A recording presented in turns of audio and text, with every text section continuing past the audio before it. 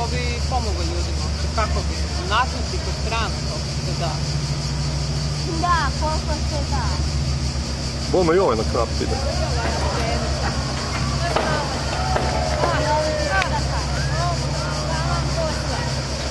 Još će se udariti tu. Tamo nazvalo RTL i rekli da imamo snimke čovječe. Gle kak ih okreće. Gle kak ih okreće. Isti ti broda. Samo ovaj 50, ne znam. Ovo iz policije budu Ovo je poludili sva. sam.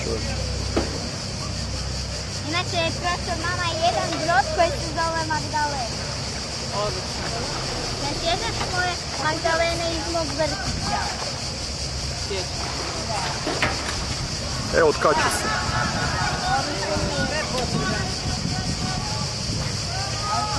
Ode Antron. Imaš,